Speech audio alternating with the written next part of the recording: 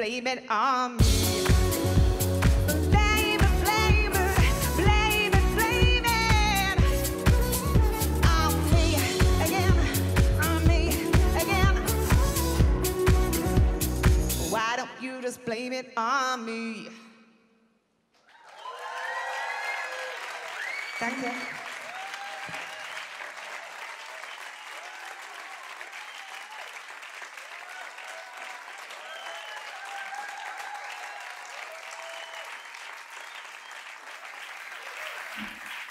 Welcome, everybody, to Anchor 2020, to a very special Anchor. Welcome to Hamburg. Welcome to Reeperbahn Festival here at St. Pauli Theater. For all of you just asking yourselves, why, yo, is my heart racing? Do I have goosebumps? What that was that just freaking Melanie C? And is she coming back? The answers are yes, yes, yes, and yes, she's coming back. All right, people. So my name is Hadnet Tesfai, and first of all, I would like to pass on the best wishes from the man who was supposed to be standing right next to me, my co-host Steven Gätjen, but he can't be here tonight due to an urgent family matter. But he told me to say hi to all of y'all. But for what it's worth, yo, you guys are here, I'm here, and we'll do this, right? Right? Cool.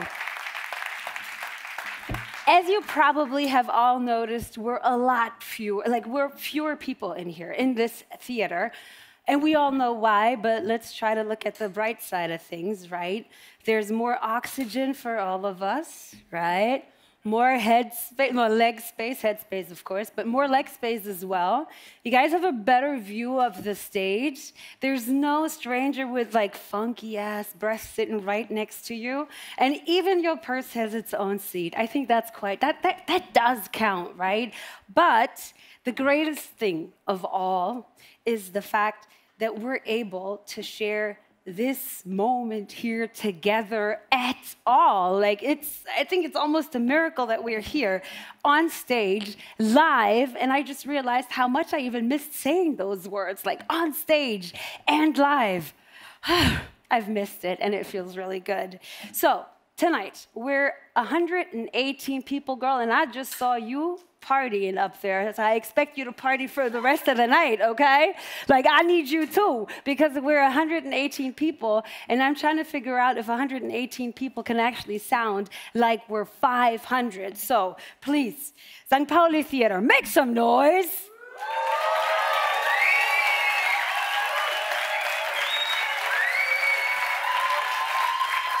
Cool. But for real, people, I just told you this sob story that I'm here by myself. I was supposed to have a co host and stuff. I'm by myself here on stage, and this is all you're gonna give me? Like, for real? Okay, is, don't make me leave, okay? St. Pauli Theater, please, let's do this again. Make some noise. Ah, see. There you go. Cool, cool, cool, cool, cool, cool, cool. I can work with that. And people, applause by, made by real hands, not just emojis. How great is that?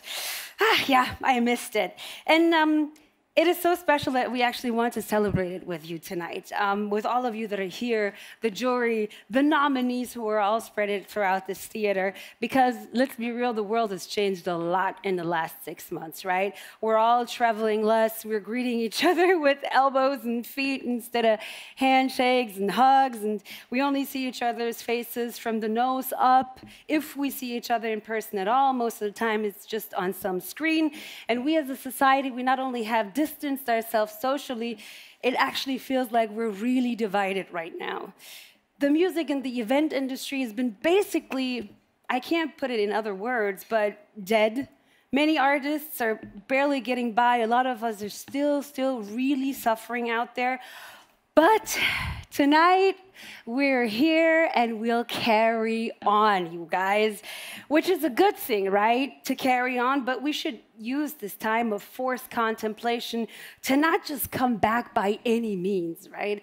We should make sure that when we do come back, like we're doing tonight, we're better than before um, that this industry is more fair and more sustainable for everybody involved for women, for female identified bodies, for trans people, for people, for, for black people of color, for people with disabilities, for the environment, and basically for everything and everyone involved.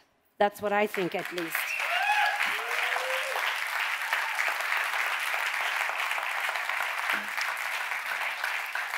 I mean, music, music could be the vehicle for that, right? It's what we have in common. It's what tonight is about. It's what the anchor is about. Live music to connect us all. Live and stream. Live in Hamburg and via stream from New York because 50% of our wonderful jury are in the Big Apple right now. They are Brody Dalle, Darcy Proper, and Tony Visconti. And this, well, you can clap in a second, right? Um, and this is how they spent the last three days.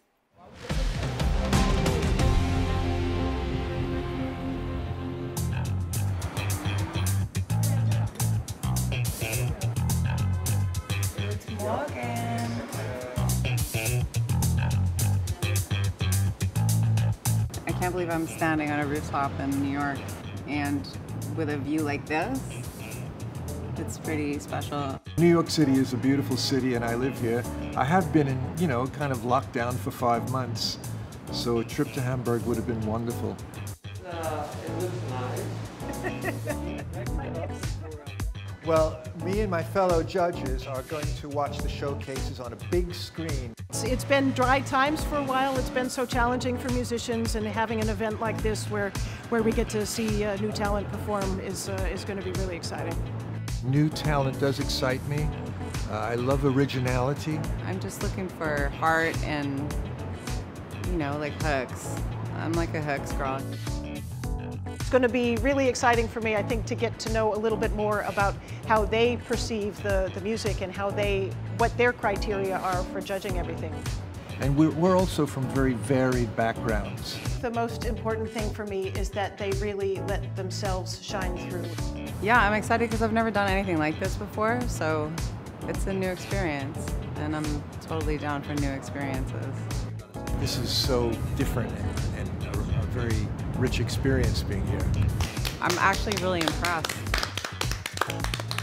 There really isn't anything like it here, so maybe maybe America will follow suit, you know, and do something like it. Cool. There's your sirens.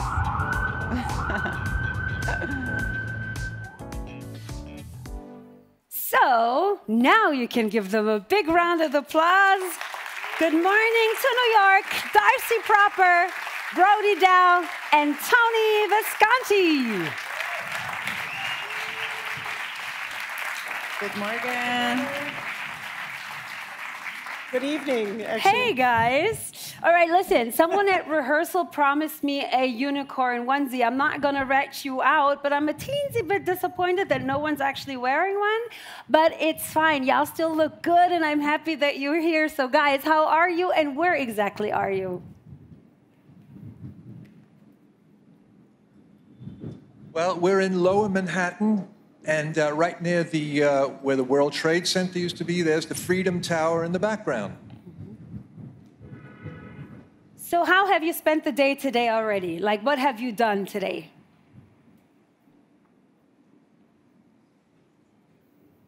Who'd like to answer that? I poured uh, some coffee in my eyeballs, and then I came to meet my friends, and uh, we're just excited. This is just so exciting. This is this is our special day. All right, you guys, we're actually super excited that you're with us. Thank you so much for all the work that you've put in in the last three days. We're going to uh, see you all soon, one by one. So thank you so much for being there, Tony, Darcy, and Brody.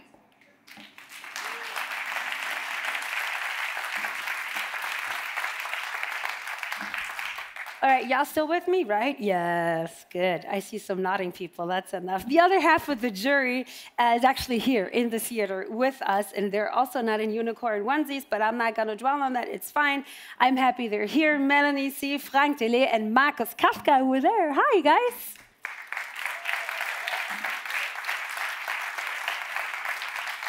Hey, listen. Y'all need to work. I was like, they're here. Frank Dellé, Markus Kavka, and you go like this. They're here. You're like literally disrespecting them. So I'm going to do this again, okay? Um, welcome, Melanie C., Frank Dellé, and Markus Kavka. Yo, there you go. yeah. I'm, I'm not going to let them disrespect you like that. I'm not going to let them disrespect you like that. That's cool. All right. Okay, so our six nominees, right? They're from France, Norway, the Netherlands, Switzerland, and Germany. Almost all of them, almost all of them will perform on stage tonight. And in one hour, our jury will reveal to us who they consider the best up and coming live act, who the winner of the Anchor 2020 is going to be. So, are you ready to meet our um, jury like half and half in person on some screen? Are you ready? Cool. The following person actually needs no introduction, right? Of course, I could go ahead and list all of her accolades, all the awards that she's won, um, but the list is endless, right? And what you really need to know about her is that she's not only one of the biggest pop stars in the world, she's also one of the nicest people you will ever meet. So, please give her the loudest applause that you could possibly come up with. Here is Melanie C.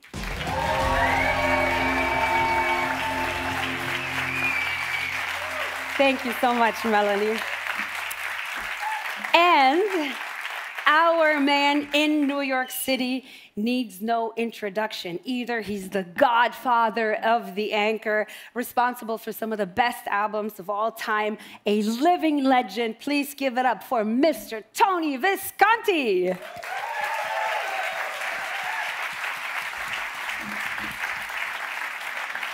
All right. Hello. Tony, uh, before we start, I have to ask you the most important uh, question of the night right away. Uh, which Spice Girl would you be, right? Would you be scary, baby, ginger, posh, or sporty? Oh, without a doubt, I would be Old Spice. All right, okay. I think I think you get away with everything that you want to be. To be honest, um, we obviously don't have to know which uh, Spice Girl you are. So, Melanie, um, you're uh, you know jury work, right? Um, but how has it been like for you here in Hamburg? It's been an incredible experience. I was so excited to be a part of this. And then, of course, with everything going on in the world, I was so worried it wasn't going to happen. And it's been incredible that it's been able to go on, you know, and I felt really safe the whole time. I felt really spoiled because I've seen so much great live music. So it's been a really good experience. And I'm really proud to be a part of it too because I think it's really important that we show life needs to go on and we need to support young new artists. Right. Um, Tony, I think you can hear me again now. You're all there together in New York. And from our side of the pond, we're actually just hearing super scary news from, from the US. So the last few months have been also super, we could say eventful, right? You guys are dealing with Corona, but also people have been hitting the street to demonstrate and fight for their human rights. And you guys have presidential elections um, coming up in the next few weeks. Tony, what has it been like in New York in the past few weeks and months?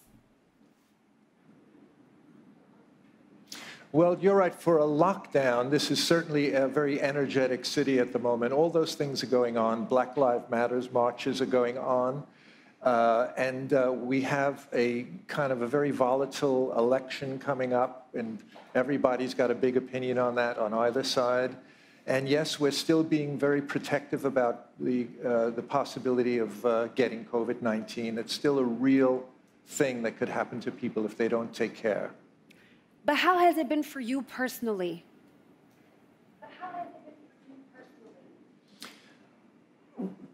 Well, for me personally, I, I was locked down for about two months at first. Then I realized that it was safe to get out of my house and go to my recording studio, which is about uh, three kilometers from where I live. And uh, I've been able to work every day in solitude because no one in the studio has come back to work yet except me. So I've been dealing with it all right. It's no big deal. And of course, the weather, you know, this is summertime and the weather has been beautiful. So the walks to and from my studio were glorious. There are, there are no restaurants open, uh, but the city kind of looks like Paris because every, every restaurant is turned into a sidewalk cafe here. So that, that's not a bad thing. No, it's not. So, Melanie, like New York, London has also been affected very strongly by COVID 19. How, how, have you spent the last six months? I've been really busy. I, um, I have an album coming out early next month. Yay. And I really didn't know how I was going to cope because the first single was released as we went into lockdown in London. But I feel really grateful that I continued with the promotion and it gave me focus because I think at a time like this, it's important, you know, it's important to have something to focus on. I have a little girl, so I've been enjoying homeschooling. Any other parents will appreciate that. Um, yeah, and just staying busy really and trying to stay positive. You know, there's so many uncertainties, and I think that we all need to. I, I want to come out of this with positivity. Do you know what I mean? I want to come out of this remembering what I love, which is music, and traveling, and all those things that I may have taken for granted in the past. Mm-hmm. So it's kind of given my priorities a little shift. Mm-hmm. Has there ever been such a long time for you guys without e- either going to live concerts or playing them yourself? Has there ever been, Melanie, you maybe first? Never. I what was interesting, I, I, did my performance to open the show, and I was so nervous and I felt so rusty.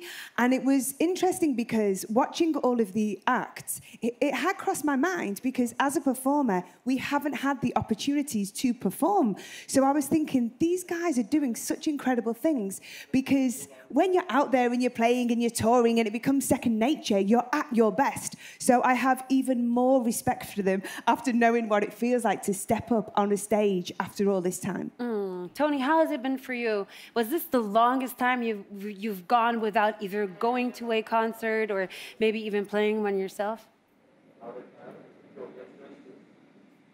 Yes, it is. And uh, this whole thing started with me playing one last concert in London in March with my band Holy Holy. And uh, I came right back to America to, the, I mean, the lockdown was two or three days later. And of course, I haven't seen any live music, but we do, we do have a lot of street buskers in New York who come out with their tubas and trombones and guitars. And you could still see live music in the street here, but it's not the same as going to a club, which I, I do miss dearly. And of course, theaters as well. Mm-hmm. But you did have the chance to see um, our nominees via live stream. So, um, Melanie, you saw them live in person. What was that like? You, you, you already touched on that, but actually being in a club physically, how, like, was it, did it feel like old times almost, or not so much yet? I think as humans, we're so adaptable that you do forget at times. You know, it was a lovely environment. Of course, there were less people than there normally would be. And I like to be getting in there, getting sweaty with people, you know. But it was a much more um, subdued affair. But I think it was perfect for really taking in the artist, you know, the musicianship, how they affected the room. I think they had a harder job, you know. Mm-hmm. Um, and they all did brilliantly. I was blown away from the very first performance. I was like, "Wow, this is serious," and um, and also I was like, "Oh shit, this is hard," because they're all so good. But um, yeah, no, it, it was just a real privilege and an honour to see music up there again and being played and performed so beautifully. All right. Thank you so much for being there. And thank you so much, Tony, for putting in the work from all the way over there in New York. Thank you guys so much for being here. And we're, we're going to talk to you later on, but for now, thank you guys. Thank you. Thank you, Tony.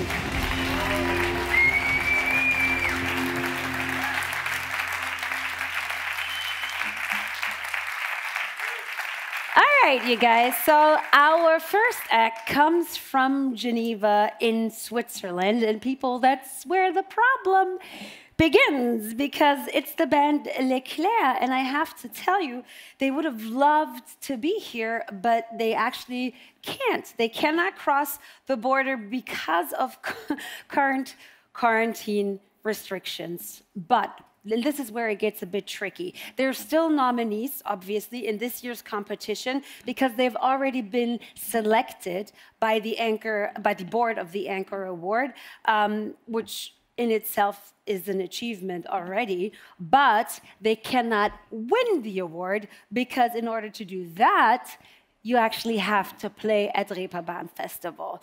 So we love them anyway, and we're connected to them, and we wanted to introduce them to you still. So here are nominated for the Anchor 2020 L'Eclair.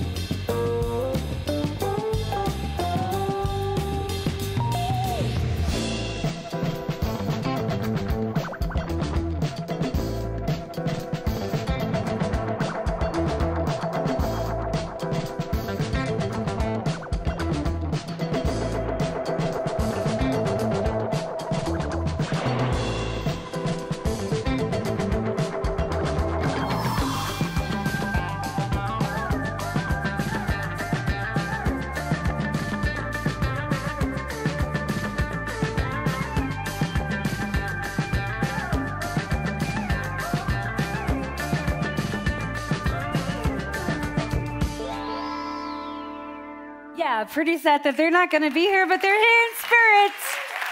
L'Eclair. I would like to introduce you to a man who's been in this business for a really long time, um, who's a, is a man who has a huge passion for music, and uh, he doesn't really make it, though. That's the interesting part. In the old times, not everything was better, but I know that one thing definitely was, and that's music television. And he was Germany's and is still music at uh, Germany's Mr. Music Television.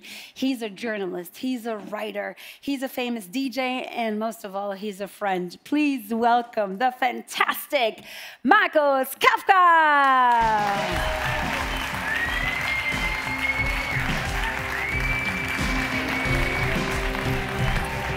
Guten Abend allerseits.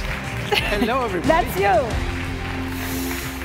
And on our extended stage in New York City, we have an amazing woman, a four time Grammy Award winner. She's a mastering engineer who has worked with Bob Dylan, Alicia Keys, Missy Elliott, and for God's sakes, Miles Davis. And the list is even longer, and trust me, it gets more intimidating. I could go on and on.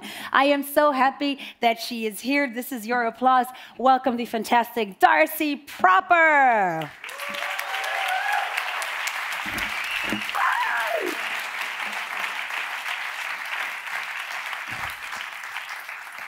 So, you guys, so nice to have you here. And I would like to know from the both of you um, how'd you end up in the music business? Maybe, Darcy, you go first. Well, I was a, I was a decent musician, but not a not a particularly inspired one, and I was terrified to be on stage. So uh, I was also intrigued with math and science, and one day I saw uh, somebody working at a small live sound console at an amateur uh, live event. And I saw all the lights and the buttons and the, and the meters going, and I thought, this looks like a cool thing. So I, uh, I investigated that and uh, decided that this was a good career path for me. I could be involved in music, but help other more talented, inspired musicians bring their message out to the world. All right. What was it for you, Markus? How did I end up in the music business? I was a poor musician in a shitty band, and um, like so many, I became a music journalist of those types, you know. Yeah, know. Uh, and I started out uh, writing for magazines and uh, w- working for the radio. And in '95, I started working with Viva. Uh, in 2000 for MTV, and uh, well, I've been doing music television basically the last 25 years. Mm, what is it? Why? What? What is it that still kind of like keeps you going? Because you're after all these years, you're still a music junkie. How's that? Um, it was like when I was, was a teenager. I was like carrying records uh, into the school and give them to my fellow um, students and say, "Well, you're listening to shitty music. This is something for you." And they said, "Well, The Cure, Joy Division. Come on, I want to listen to Phil Collins." So um, I just kept on doing that, and uh, I'm still so curious to to find something new every day, and that keeps me going. You could take away all the old stuff from me. Uh, as long as I can listen to the new stuff. All right, and we're going to talk about that later. But what I want to know from you, Darcy, is when was the last uh, time you kind of like looked at everything that you're doing and went like, "Oh my gosh, I, I really love my job."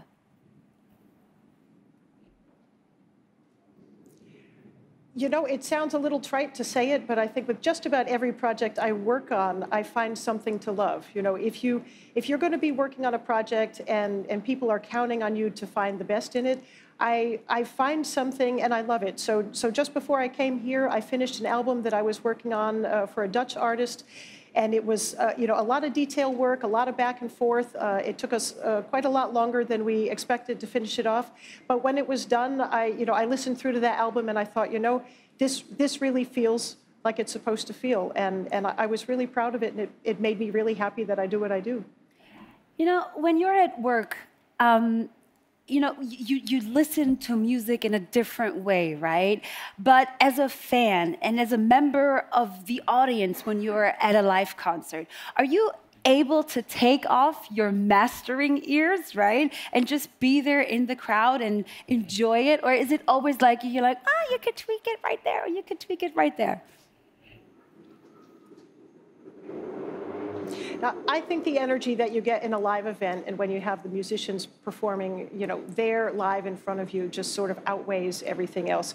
Unless the sound in the in the venue is dreadful, you know, uh, feedback hurting your ears and that kind of thing, I can really just turn off the mastering instinct and just sit there and really enjoy the show. And when you know when an artist is a really good artist and performer, you, you just feel that and you get you get uh, drawn into that without thinking of all the little technical details. The technology is just a means to an end, but the, it really starts with the music and the performance. Amen to that, Darcy. So, Markus, you know, kind of like leading up to our first performer here on stage, I want to know from you how important are political messages in music today? Well, they have always been very important, and uh, in these troubled times, they might be more important than I don't know if I could say even before, but um, over the last years, um, I think it's it's a good thing to be political on stage again, and not just ignoring things.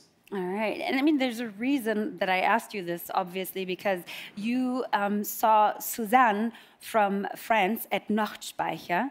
Um, and she's a very political artist. So, Darcy, uh, what did you think about her? What did you like about her? I felt very engaged in Suzane's performance from the moment she came on the stage. She, she, she immediately uh, lets her personality shine through. Um, I have to say, my French is pretty rusty, so I was looking up translations of the lyrics. Um, I, I, found her lyrics were amazing, and just the energy. She just puts it all out there. She, she is herself, and from beginning to end, I thought her set just flew by. I, I thought. Uh, I, I, wish I could see more of this when she had to wrap it up. So it was, uh, it was a lot of fun. All right, thank you so much for that. Thank you so much, Markus, because now we're going to give you guys a chance to listen to her. Thank you, Darcy Proper in New York. We're going to hear from you later, and thank you, Markus. Thanks, guys.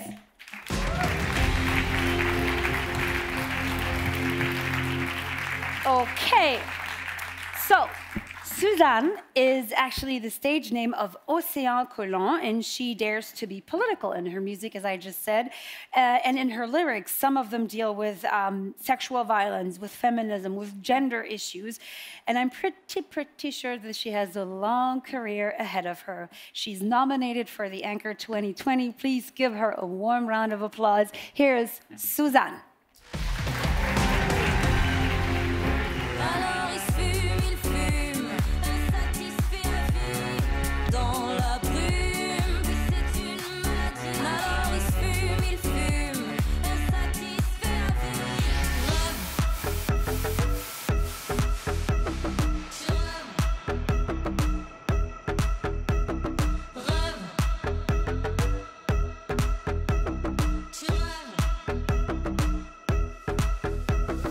Chez toi, c'est ton regard de chienne qui attendrait de bouffer depuis au moins une semaine. Je suis sûr que t'es du genre à dîner étoilé. Mais moi je paierai même pas pour des nems à volonté parce que t'en vaut pas la peine. De toute façon, t'es comme les autres. J'ai vu que t'avais lu, mais bien sûr, tu fais la mort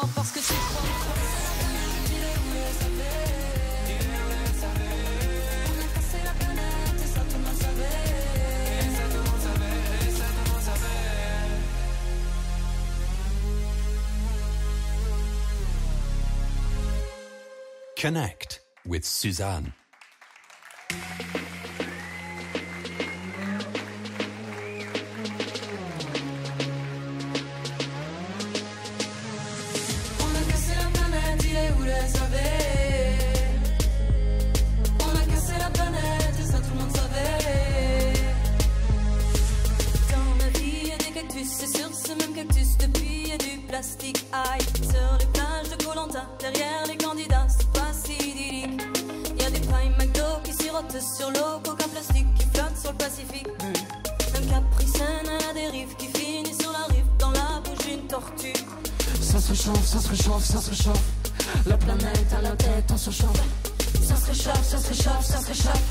La planète à la tête, on surchauffe. On a cassé la planète, il est où le savait Il est où le savait On a cassé la planète, et ça tout le monde savait. Et ça tout le monde savait, ça tout le monde savait. Le savait On a cassé la planète, ça tout le monde savait. Il y a comme un air de chicha sur les buildings pékinois. Le smog made in China. Les usines crachent l'en poumon. On est tous au premier balcon pour voir le ciel couleur béton. On mange des glaces en février. Y a plus de glace sur les glaciers. Les ours polaires vont transpirer. Bulldozer dans les forêts. Le temps est délogé pour de la pâte à tartiner. Heiß, es wird heiß, es wird heiß. Der Planet überhitzt, es wird heiß. Ça se réchauffe, ça se réchauffe, ça se réchauffe. La planète à la tête, on surchauffe. On a cassé la planète, il est où le savait Il où le savait On a cassé la planète, et ça tout le monde savait. Et ça tout le monde savait, ça tout le monde On a cassé la savait. planète, il est où le savait Il où le savait On a cassé la planète, et ça tout le monde savait. Hey, yo, yo, yo, yo. An meine ganzen Leute da draußen. Eine neue Welt kann man nicht kaufen. Gegorenes Wasser, Eiswürfel im Kopf. Frühling drin, draußen unzählige Grad. Plastik im Wald, alles normal. Eisbär ohne Eis, katastrophal. Rufe die Notfallnummer, keiner geht rein. Bin ich selber schuld oder hab ich schlechten Empfang? Savait On et ça tout le monde savait. Et ça tout le monde savait, et ça tout le monde savait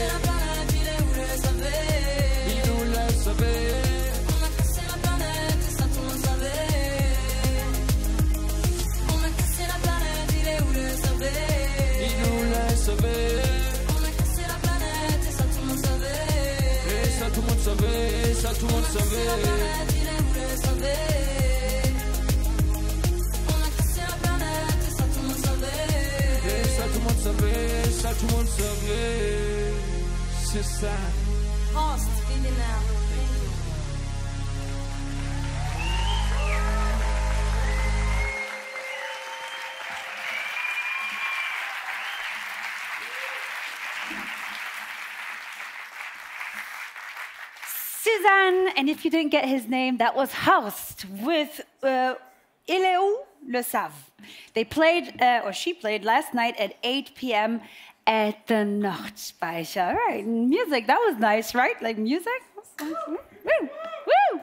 Who was woo? Who was saying that? Uh huh, now you're scared. Don't be, it's fine. Um, all right, so next jury member, because uh, there are still two that you haven't met yet. And uh, the next one is one of the coolest and one of the nicest, and actually one of the most famous musicians here in Germany. If you've ever been to one of his concerts or the concerts of his band, then it's a thing that you will never forget because the energy is not in, like anything that you've probably ever witnessed. Um, you all know him as one of the frontmen in Seeed. Please welcome Frank Dellé. Hello, my dear.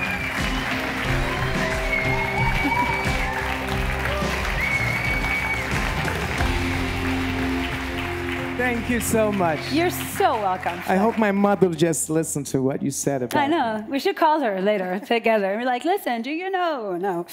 Um, and obviously, we have one more judge joining us from New York. She's a music- musician through and through. She had her first band, yo, when she was only 13. Get this. Um, she's from Melbourne in Australia, but she lives in LA. And um, she found global fame with the Distillers, but she's also been making quite some splashes with her new and other band, Spinneret, and also as a solo artist. And she's the coolest person that you'll meet. Please welcome Brody Dalle. Ah! Yes. Brody! Girl! Yes. You did it! Okay, you did it. I did. This is for you, Hadnet. Oh, baby, thank I you so waiting. much, Brody. I love you. It's crazy how much I love you right now. You're actually going to make me cry. Listen, I'm on my period. This too. is very sensitive, okay? Don't do this shit to me. Please do not. Ah. All right. I don't know how to come back from that, but I love it. Okay, fine. Just let me gather myself. I'm very professional, okay? Uh, so, both of you guys are musicians, obviously, uh, and the, the thing is, I heard you talk to um, to uh, to Tony the other day, and you were talking about how advanced and actually how sophisticated all of those young up and coming artists are that you guys are seeing on stage, and it's everything. It seems like they have a creative concept as soon as they come out, right? Um, they know what they want to sound like. They know what they want to look like. Um, like it seems like they're like the full product already. So, Brody, do you remember uh, who you were and who you wanted to be when you were 13, starting your own first band?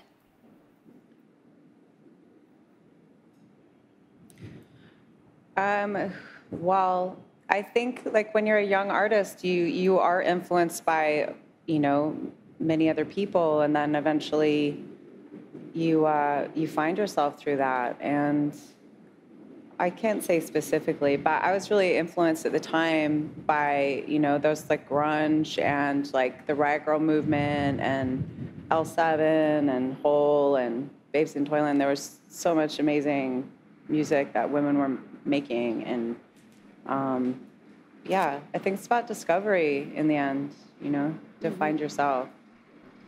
Yeah, I think so too. It's a journey. And Frank, when we when we see you on stage, it, it definitely looks like you guys have a creative concept because at the end of the day, Seeed is like 12 people, right? Um, so who comes up with that, with everything, the choreography, what you guys wear on stage? Like who's who comes up with that? Actually, it's a gathering of people who always thought it, uh, it was important to think about more than just being a good musician on the, on the sound, but that the, the visual part is just as important. And the thing, I think people like, whether it was James Brown or Prince or Michael Jackson or all the, the, the people that we admired always had that part of presenting the music uh, was very important. And into our times, it mostly came from, from America, from the US.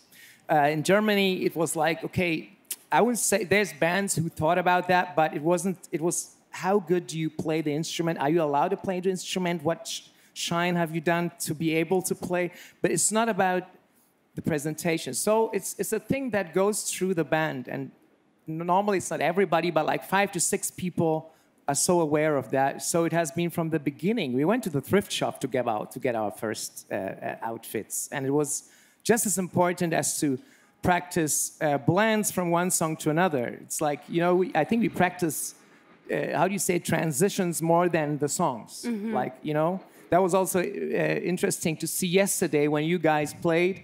I very often looked at the time in between the songs uh, and how everybody uh, like was uh, acting to the time maybe the, the music stopped because Mhm. that's something that we really uh, Mhm. yeah look at hmm And and because this is time sensitive, but I still want to ask you this, um, because I mean, how you present yourself is one thing, but who you are and where you come from, I feel like, is another thing. Brody, you're originally from from Australia, but now you live in LA. How much uh, Australia is still in you, and what do you what do you what do you miss about uh, Australia, and what does it actually mean to you to be kind of like this expat in LA, maybe?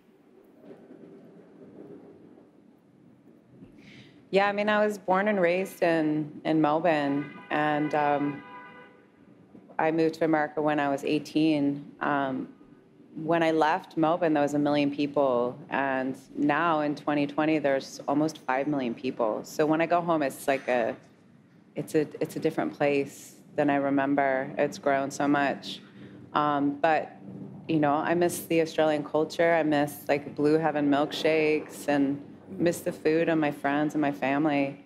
Um, but being immersed in um, in American culture in Los Angeles has also been a huge part of my life. And essentially, I grew up.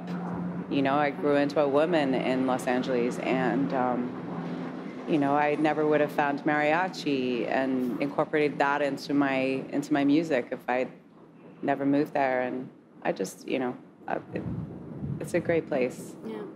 Los Um, Angeles. Frank, real quick, because I, I love that answer, and I still need to know, like, from you, because you lived in Ghana uh, when you were a kid. Like, what does that make you now? Like, how, what did that time mean to you?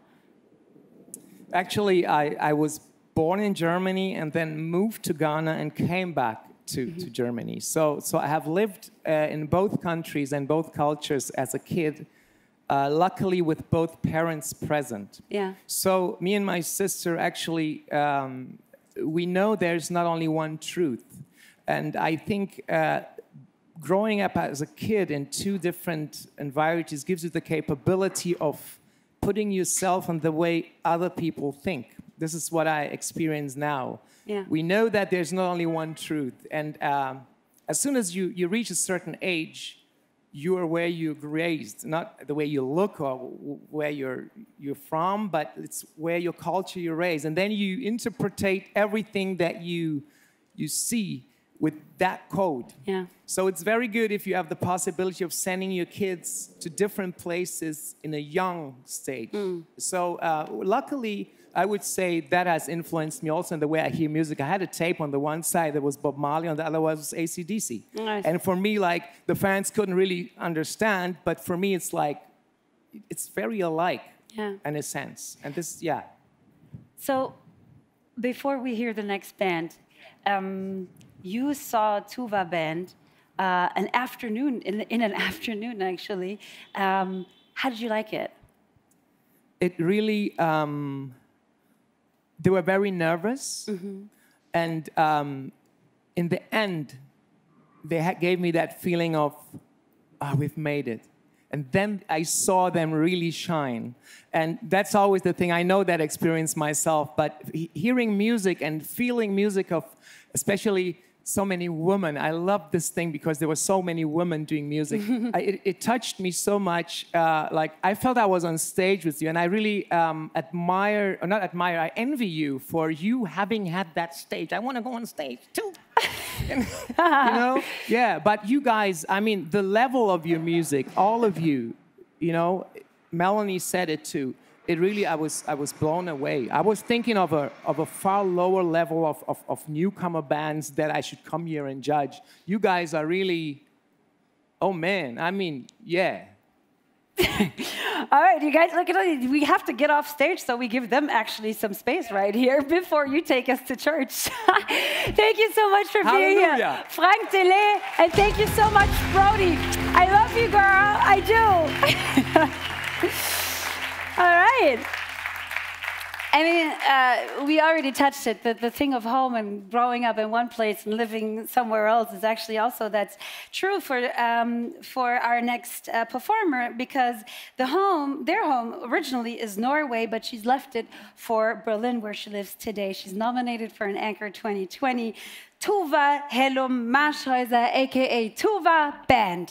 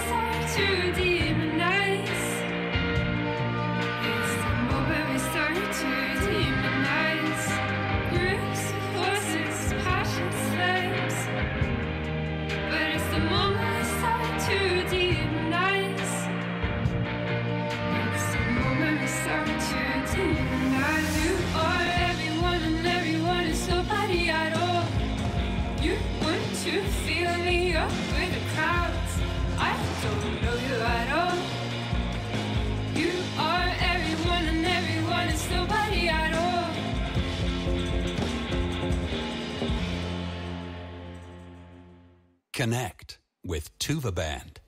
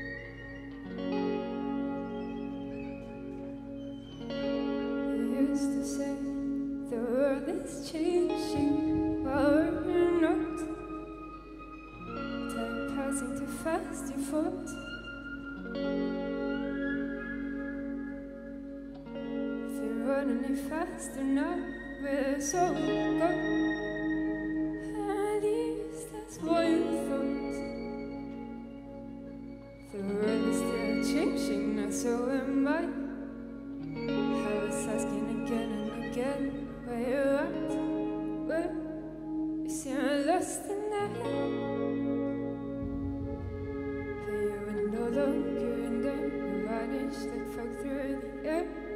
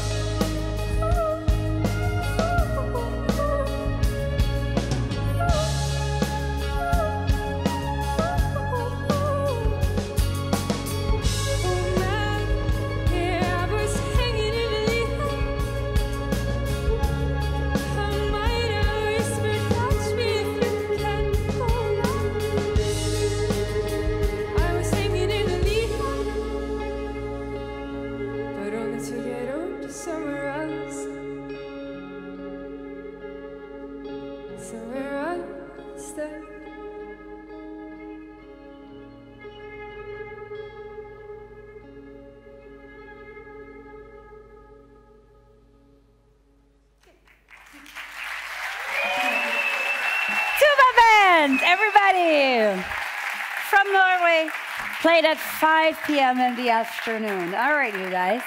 You still okay? You still with me? Yeah? Like, no, ish, sorta.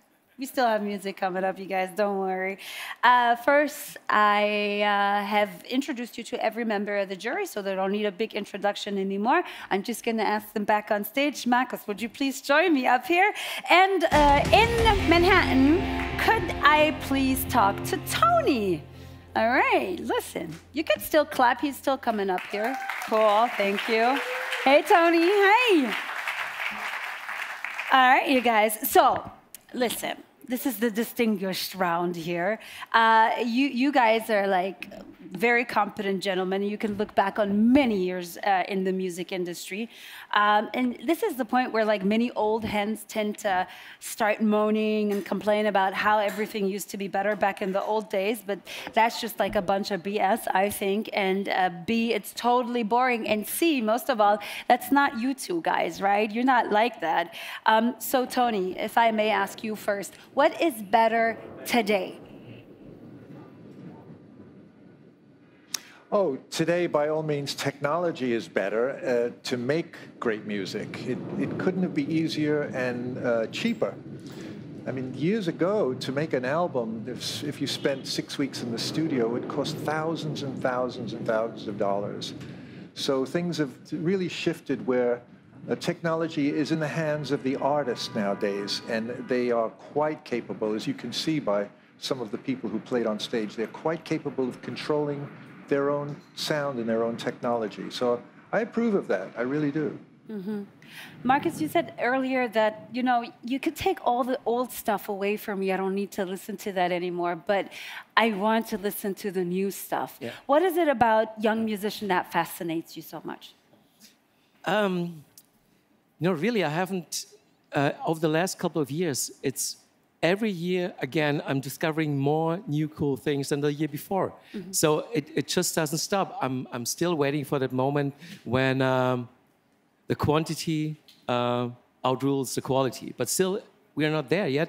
And I love discovering new stuff. And what I like the new artists is, um, you know that m- music has become much more democratic, and uh, you have this that sense of DIY again. It, it's almost like a punk spirit, like in the late 70s, and all the, the young guys in, in uh, rap music, trap and, and cloud rap guys, they're doing the punk rock thing totally without a record label, totally without any of the business structures you would know. So I love that. Um, that's a, that's a spirit I really encourage. Yeah. And uh, talking about that that whole structure that you just mentioned, right? Tony, what are the things that you're kind of like almost apart from the technology part that you just mentioned, right? What are the things that were impossible like 10 to 20 or maybe even 30 years ago that you're kind of like almost envious now that like young musicians are able to do and pull off? Well, I don't, I don't want to sound like uh, negative about it, but you know, uh, 30 years ago, we didn't have things like auto tune and pitch correction. Uh, there were ways around it, of course, but it was complicated.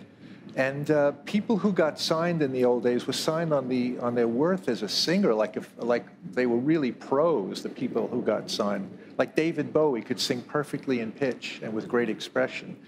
So I, I don't, you know, it would have been convenient for other, other things. Sometimes you use tuning for uh, a flat guitar note. You know, I, I do appreciate it. And I wish I had it for reasons like that back in the old days. But we got, we got along without it, however. I do enjoy it now, though. Yeah.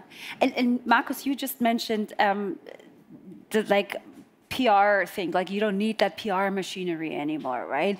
But you, as a music journalist, is there anything that you uh, are able to do now that you weren't able to do back in 95, say, and where you were like, you know what, that would have been cool to have that like 25 years ago? You know what? I think back to my first interview with Madonna, which was in 95 or 96, I believe. And I just learned 12 hours before interviewing her that I'm actually talking to her. And back then I thought, fuck, I would need the internet Yeah. to do some research. Real quick. you didn't have a cell phone to check it. No, No, it just went there and said, sorry, I don't have any internet. I couldn't read your biography in the last 10 hours. So let's talk about music, for fuck's sake. Yeah. Yeah, what we did. And you, you and you managed, right? You did. Yeah, somehow But it would have been convenient. I feel you. I feel you. I mean, the good thing that about technology that we have now is like that we're able to sit here in 2020 and talk to uh, New York and Tony, who could actually hear and see us, even though he's over there and we're over here. And actually, you were able to see music live, right, uh, in Hamburg, because you were able to see our next nominee, Arya Zappa. Um, what, what did you think about her? How did you like her? Did you like her? I'm pretty sure you did. Oh, I liked Arya. She, she's very unique. She has this low voice, this low contralto voice, and uh, it's very atmospheric, the music. And I really, I really enjoyed her performance. All right. And I enjoyed seeing her on the big screen, and the music was being blasted really loud to us. So it was really a good experience. All right. So thank you so much for, for doing that and sharing those thoughts with us. Tony, thank you so much for uh, being here as well. Markus, thank you guys. Thanks.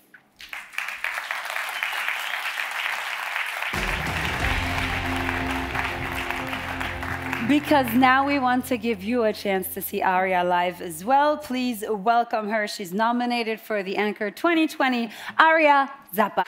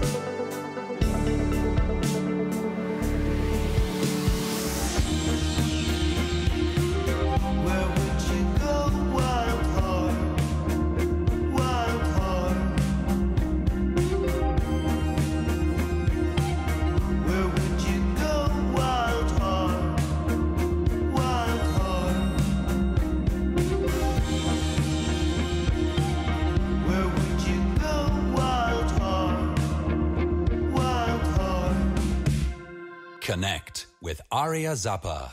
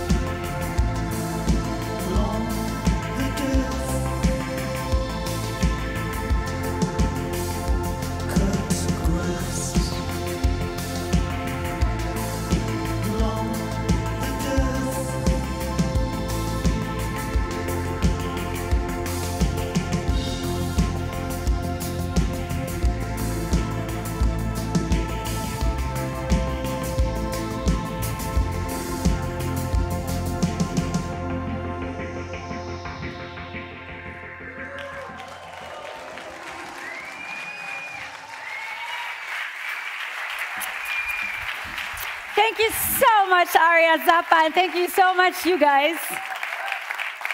So now I also know when she played. She played last night um, at 10:45 p.m. In case you want to be precise, at Nochtspeicher. Arya Zappa, our let me count fourth nominee. So we have two more coming, and we have two more uh, judges' uh, conversations to have. So Frank, would you please join me on stage one more time? And in New York, hello, Darcy.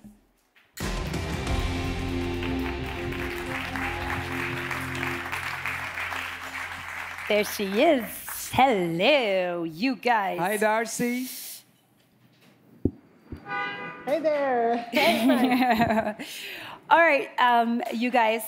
Um, in the last five years, right, the anchor uh, has given quite a few career boosts to the nominees, and because they're part of the anchor family, but especially, obviously, to um, the winners. Darcy, has, has there ever been um, a moment, um, or maybe a person that was like really crucial to your career?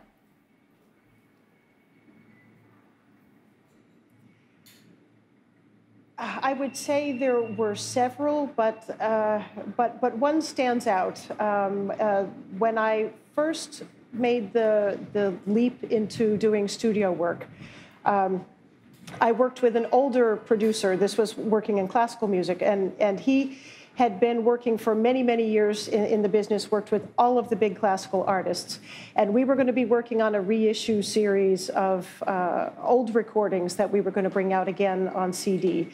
And um, so he wasn't very interested in learning the computer-based technology and that kind of thing. He was more about tape machines and and uh, and the older uh, way of doing things.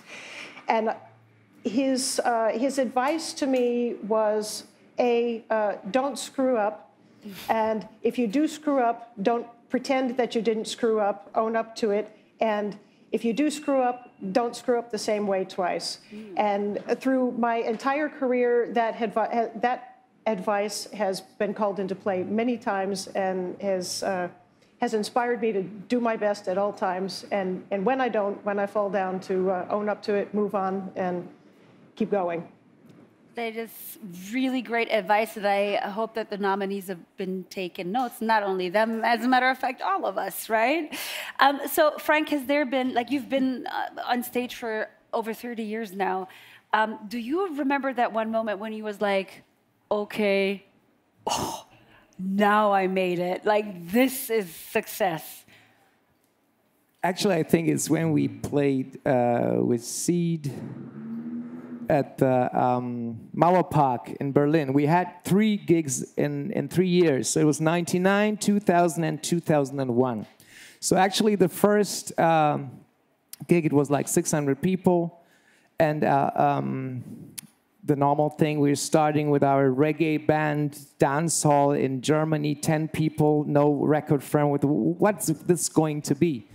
Two, uh, a year later, same place was maybe like 6,000 people, so it was growing. And then the year 2001, it was like a, a roadblock. It was like like you you think of Woodstock in your life. And a friend of mine uh, filmed that always from the same angle. There are three big trees actually, which mark a certain row, and you could cut those videos that he did in these three years like behind one another, so you could make it like grow. And I saw people stage diving to roots reggae music. So it was like what's going on? Yes, that's how I always felt it. You can stage dive to reggae. And you know, so all this comes together in this uh, uh, combination of what we went through. I mean, all these musicians, as you heard from Darcy too, and from others, have started with 13, 14. So I was 28 when the band got like that point. So all the time before nobody thinks of that, all the time that you do music and nobody knows about you, the people know you from when they know you, and then they say it has all become famous. No, all these musicians started at the age of 14, 15, and due to those skills, maybe one day with luck and everything comes together, it can work. Mm-hmm. Yeah. So, but I think 2001 stage diving to roots reggae. That was, yeah, that sounds That's amazing. We made it. Yeah, you're like, we're there, we're there. so, um, Darcy, this, this was your very first time uh, working as part of a jury. H- how did it, how did it feel for you? Yeah, it's uh, it was a little bit difficult because uh, you know in my work I'm always on the side of the musician. I'm working for them. I'm pulling for them, and and I think uh, you know I, I think we all uh, the the jury as a bunch of uh, performers and uh, people working on the technical side of music. We have that that feeling for all of the performers, all of the musicians. We want them to do well, and they all did. Um, but then to have to pick a winner at the end, that's the difficult part because, uh, because for me, I felt for every single one of them. And uh, yeah, in the studio, I don't have to declare a winner. I just have to do my best for them and, and help them get their music out there. But uh, in this case, we did have to make a decision, and I found that was really tough. Mm, I bet it was.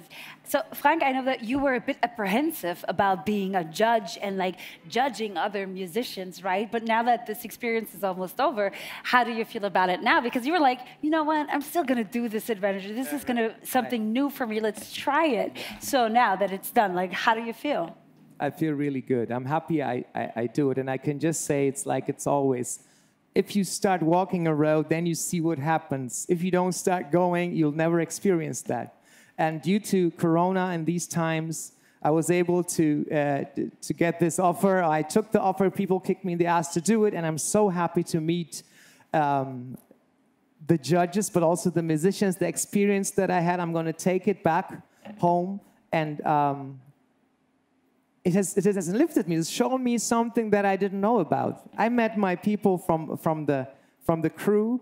I, I've seen people who have uh, dared to do something that brings us all forward. You know, like you, you always look at yourself. How I'm gonna be? How is is it for me?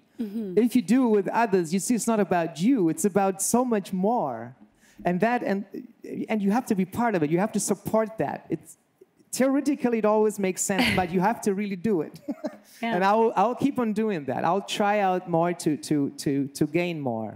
Yeah. Darcy, was it the same experience for you that you really had to like almost step out of your comfort zone? Was there anything that you learned about yourself in this process?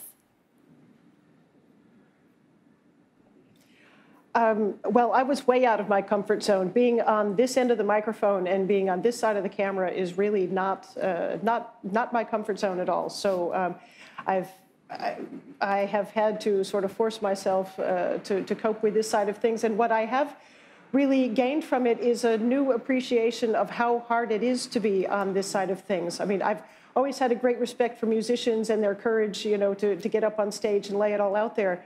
But there's a there's a lot of stuff that that we uh, that we don't appreciate on the technical side. I think that's going on when when you are the quote unquote celebrity. Um, you get bossed around a lot, actually, you know. Um, And uh, so, yeah, I've, it- it's been a lot of fun. It's been a great experience, and I've learned a lot. But uh, it's it's not easy for sure.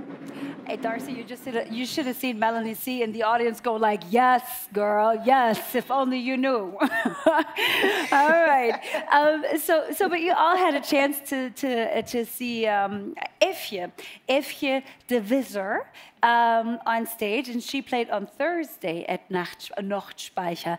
Uh, you're like, mm-hmm. Frank, tell me about it. What was that like? Eefje really impressed me Yeah? very much. Yeah, Mhm. because this was so. That was the first band I saw. I thought, what a level! Mhm. You know, on all the the moves, these these little, you know, you have to practice that really well. And then the singing, the. I love singing. I love horns, and the singing, the voices, the way that it was done. The keyboarder on the side, you know, the, and the drummer, both Yeah. of them. I, there Yeah. was so much going on in that band, and then actually I she's a solo artist so this band is not it's not always that she goes on tour with this band which i didn't feel at all i thought it's like a band who has played together for for long Don't give away too much. yeah You're i'm sorry sorry see sorry sorry They're sorry. about to no see no her. no but I, I really i really enjoyed that concert Okay, yeah cool. my respect All right, so we're going to give you a chance to see her as well. Thank you so much, Frank, and thank you so much, Darcy, for being with us. Thank you.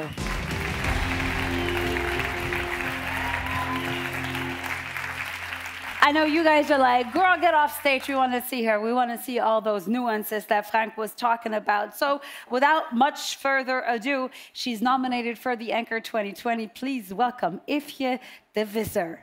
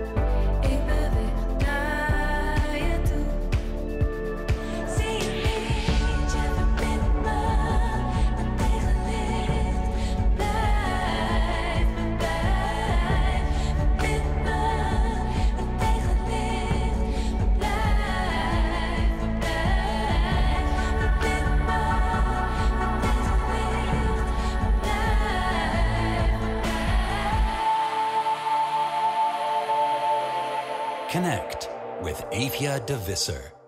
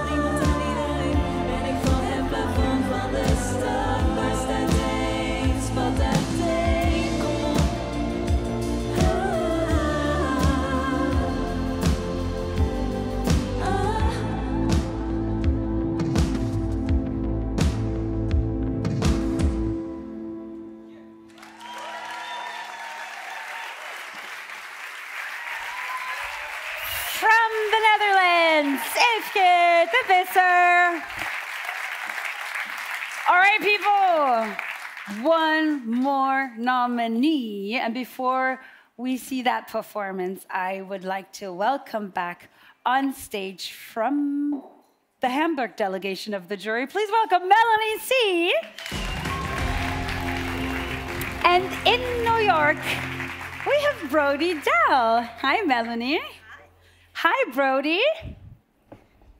All right. So this is the ladies' round now. I enjoy that as well. So, um, you girls, you and Brody, I'm going to start with you. You haven't just uh, played in bands, you've also released uh, a solo album called Diploid Love.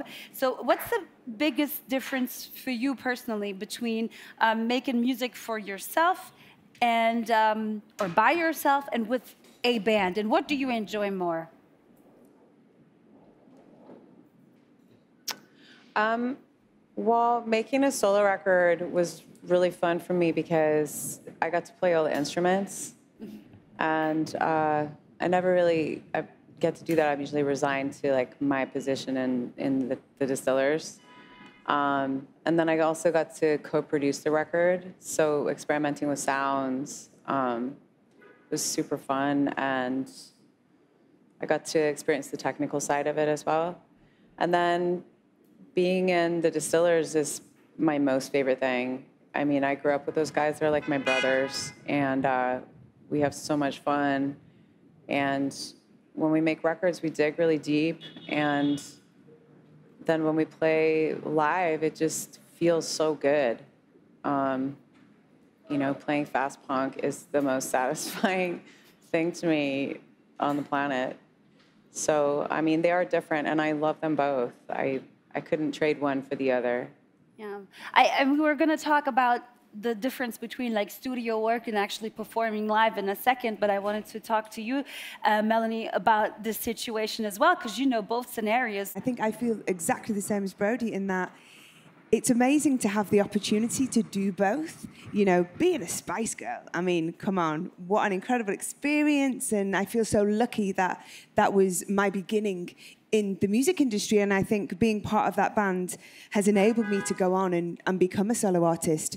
But I think the differences for me are probably more in the creative side of things because when I'm with the Spice Girls, it's very collaborative. You know, we're making something together. And then as a solo artist, I felt always more free to be expressing myself as an individual, you know, which is very, very obvious, but being able to, to wear both hats is really, really cool. And, and I was drawn to music, obviously, first listening to it as a kid. And then when I got an opportunity to perform, I just found this passion. And for me, that is my drive to be out there playing live. And I love to create and I love to make music. And of course, you know, you need to do that to, to get out there and play. But um, it will always be the stage that I enjoy more, I think. Uh, Talking about stage, I mean, you guys have both played all over the world, right? Um, has there ever been a moment in your life where you kind of went like, okay, wow, music has a lot of power? Do you do you ever realize like when when was that for you, Melanie? I well, I think growing up loving music, you know, I think like everyone, it plays such an important role in our lives. I think especially in those teen years, you know, when you are discovering so much and you're also going through so much. I remember like being in my teenage bedroom, listening to music and it being my friend, my companion, my strength. And then I think being lucky enough to become an artist, then being able to do that for other people, it really it, it's very, very humbling to to have that opportunity. Um, so I love to hear back how your music affects people. I think it's one of the most special things about being in this profession. Hmm. What what about you, Brody? When was the last time like you really felt the power of music? Was it as a consumer yourself, maybe, or when you were on stage and kind of like just had this connection? When was that for you? Um, no, I think it's like listening to music or playing shows. Uh, you know, it can bring you to tears sometimes, and it's like going to a live show. You you can go there in one state of mind, um, struggling with something and you just go there and you just get it out. Um, I don't know, that's playing to a crowd that is just hyped and like moving and like screaming and yelling and, you know, dancing around and stage diving. It's just, it's so cathartic. Okay, so on a scale from one to 10, how much do you miss it? Because that sounds like you miss it up to a 15. I miss, I miss it at 100. I bet. So now you had the honor of, of, of being a judge. I mean, a- as we talked about it, you had already uh, been a judge before, Melanie. Um, what do you remember about the performance of ÄTNA, Ines, and Demian? Do you, what, what did you like about it? Well, it's interesting how you put that question because they are unforgettable. They were the second band that we saw, and when I woke up in the morning, they were on my mind, and um, it's something very special. I think, like everyone, I mean, you, you've seen almost all of the artists now, and they are so different, aren't they? And then you're going to see another band who are completely different again. So I think that made our jobs really even harder. Um, but yeah, it, it was a special performance. and I'm excited for everyone to see them. All right, so we're going to give them a chance to see them now. Thank you so much, Melanie. Brody, thank you so much for being there for us tonight as well. Thank you, girl.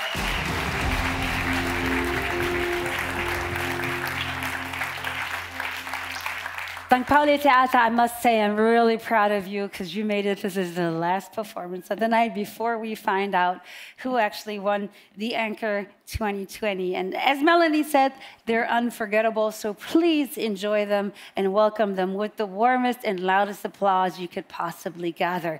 Here are ÄTNA.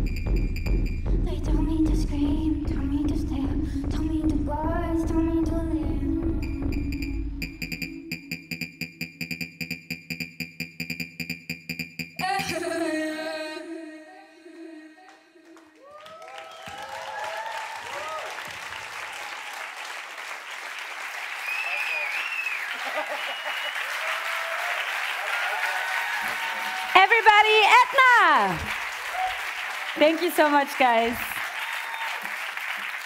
All right. I know all of you want to go and rave right now, right? Mm-hmm. Okay, cool. All right, people, you made it. These were our nominees. How you feeling? Are you guys ready to find out who won?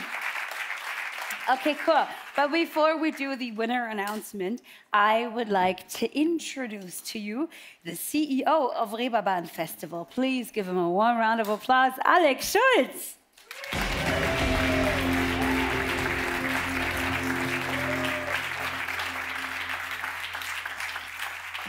I'm like, you go over there. You stay in the middle, my dear. That's him. So, Alex, how are you feeling? Good. Are you happy? Really good, yeah. You're relieved as well, I guess. Yeah. I mean, after all, you guys um, did organize the first festival in Corona times, right? Can you already share? Yes, for real. Thank you. Thank you. I mean, it's, it's, it's probably going to take some time for you like to really settle in, but can you already share a few of the experiences with us? What was it like? I can I can let you know that um, I was very impressed by by the audience and the artists as well. Um, we had the feeling, uh, and it grew stronger day by day, that everybody is working on this project in order to let it turn out fine. Like they, the, the audience took so much care about all these social distance, distancing rules and all these um, yeah, new, new rules we, uh, we brought up, and they were very cooperative. And uh, even the artists, I mean, we had similar rules on the, on the, on the, in the backstage and the stage areas, and uh, I had the feeling that everybody wanted to yeah, receive a good result, which sends out a positive sign into the world. And I can, s- I would say, uh, after three nights of concerts, I mean, there's one still night to go, but um, one last night to go. Um, yeah, I, uh, I would say it's a positive result. Um, also on the artist side, I mean, I got so much feedback from the artists that is, I mean, as you said before, uh, we were rusty yeah. um, through the last months, and uh, yeah, everyone was lucky to perform again. Yeah. I mean, you know, you said it before, like, and I keep on saying it very jokingly that we're all rusty, but but for real, I mean, people haven't worked in six months, and and I was just talking to people backstage. We're like, we don't even know when we're going to go back to work again, right? And uh, I mean, you guys obviously can feel it right now in the audience, but also backstage, everyone's like always at a distance. You have to wear your mask. There's all these rules and regulations that we are all really trying to stick to because we know it's important in order for this to actually be a success. So I know that you guys are going to go into review, take a look at this, and um, um, you know maybe tweak a little bit. But can you already share some of your learnings with us already? I mean, you know, it's really fresh, but maybe you already have something that you can let us in. on. Uh, well, I would say um, uh, um, this cooperative aspect that uh, that should stay, and we will, uh, it will last for. I mean, the cooperative aspect between the, the organizers and the artists and, and, and the audience. Um, this will uh, stay for a long time. I mean, because the virus is going to be there for a longer time. This is something we learned and we didn't expect. We didn't know if people would expect all these rules and, and how they would cooperate or deal with it. And I, I, I mean, as, and as we had on the same side, we had to respect these rules and, Yeah. and the way we, we uh, organized this event on the one hand side, and on the other hand side, we wanted to spread like a kind of secure feeling to, to the audience and the artists as well, to everybody there, because the sign which we want to send out, of course, is, among others, one important thing is, yes, you can. You can attend concerts. It's not more dangerous than driving with the, with the train or, or, or going with the tube or whatever, or the bus. So, um, and I think we could persuade everybody in that point. Um, yes. All right. Thank you so much for doing this experiment, Alex. For real. I mean, I guess we're all happy that it took place, and we're all happy that you're here, and we're here, to be honest. Thank you so much. Thank you, Alex. Hannes. Thank you. Yes. So I see all the nominees in the crowd. Are you guys nervous now? You you okay? Yes? Is that okay because this is the moment now that you guys have been waiting for. You just got off stage. Are you okay as well? Cool, cool. All right, you guys. So um what do we need to do the ceremony? We actually need a trophy, right? We need the actual physical price because parts of the jury is here, the nominees are here, and here it is the actual anchor trophy.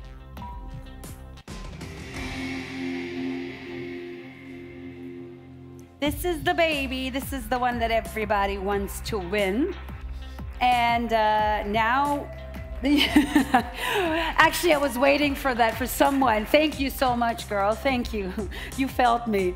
Um, so, this is the beautiful trophy, and now we just need the jury to actually hand it over. And I would like to ask the Hamburg delegation of the jury to join me here on stage. Welcome back, Melanie C., Markus Kavka, and Frank Dellé. Come up.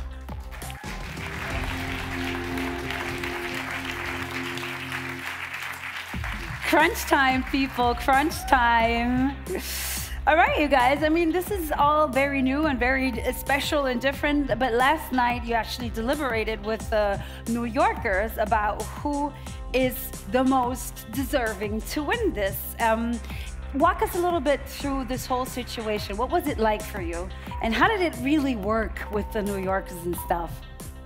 You know, it, it actually it felt quite natural, didn't it? We, it didn't go without any hitches. Um, we had lots of disagreements and some agreements, and it was yeah, it, it was it was hard, but it was enjoyable, and I think we really really delved and made sure we made the right choice. I mean, in the past, there there's been like decisions where it was really tight and really close. Other years, the decision was like everybody was on the same page.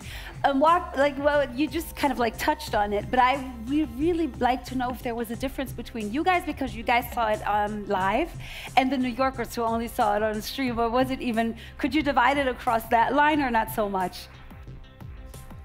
Actually, we were pretty much all on the same page, and that was uh, amazing in a way because um, obviously it didn't make that much of a difference if you're in a club and watching the show. Uh, it was as intense for the guys in New York to see it on a screen. Mhm. Um, so there was no difference in like uh, how we perceive the live performance, right? All right. So how long did you discuss and were there any legal drugs allowed or involved? I thought we'd go in there for for like maybe half an hour, you know, Mhm. and then it was like one and a half hours. Oh. Yo, really? It was it was um, quite clear with us. Like we had three people. We said, okay, they're the, the first three, right? And that was the same people that they had in um, in the U.S. Okay. But then in the end, you know, finding the we were like two people should get it. Is that possible to give it to two no, people? just no, one. no, no, no, no, just no. one. I know it's hard, but listen, we found the winner. You made a decision, and uh, it actually needs a jury of six people to hand over a prize. So we're just gonna say uh, again, hello, New York. Hello, Tony. Hello, Darcy. Hello, Brody. Hello. Hey. Hey, guys. Hi. Hi.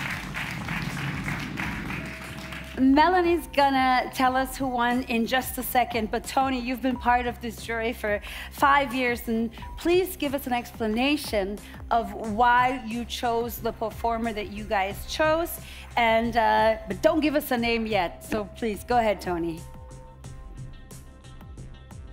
Okay, I wrote this little speech last night and I haven't had time to memorize it, so please forgive me. Uh, 2020 has been disastrous in many ways. We abandoned plans, stayed quarantined in our homes, protected ourselves when we left home. But the worst part is we have lost friends and loved ones. But humans are resilient and innovative, specifically Alex Schulz. And so here, against all odds, we are celebrating the Reeperbahn Festival with the Anchor Award once again. This year, three judges are in Hamburg, and we three judges are in New York City. Technology made it possible to see and hear the contestants play a full live set in both cities at once. At the end of each night, we six judges had a Zoom conference, and it was amazing how flawlessly this came off and how natural it felt. Last night, after two days of great music, came the hard part. We had to decide a winner. There is nothing easy or scientific about this process. It quickly becomes emotional and personal. There is only one prize. However, the judges had three favorites. Every judge had their own opinion. One by one, the judges presented their case as to why a specific contestant should get the, get the prize. This helped us to focus more closely on merits we were uncertain of. After much deliberation, four votes went to one contestant, but the debate didn't end there. Further discussion resulted in giving six votes, a unanimous decision, to a different contestant. Even though we were unanimous, a few judges still questioned if we got it right. But we didn't dismiss the jury until we were absolutely sure we made the right choice for the right reasons. My heart goes out to all the musical acts that made it out, made it to the finals, but didn't win. You put on a great show in a prestigious festival. That is a big accomplishment. Keep up the good work. Believe in yourselves. Keep going and keep creating great music. And now I'll turn you over to Melanie C., who will announce the winner.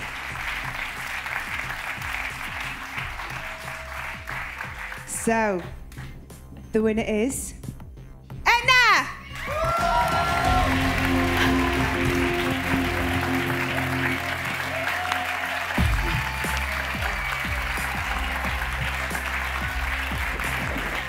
Congratulations. Come up here. ÄTNA from Dresden. We can't hug you.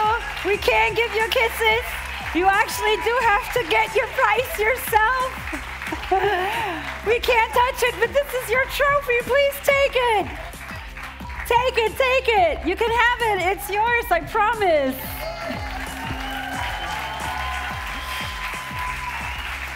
And also, I'm pretty sure that we have a microphone for you because this is your stage. There you go, check it out. This is your microphone and this is your stage. Please enjoy your moment and take your time. Um, come up here, come up, come up, come up. Go ahead, girl.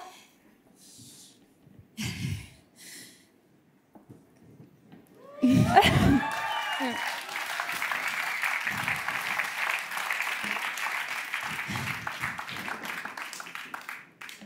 want to say thank you to Reeperbahn Festival. I mean, we we exist since four years, and in the second year, so three years ago, we played the first time at Reeperbahn, and now we're standing here having this crazy prize and this crazy jury.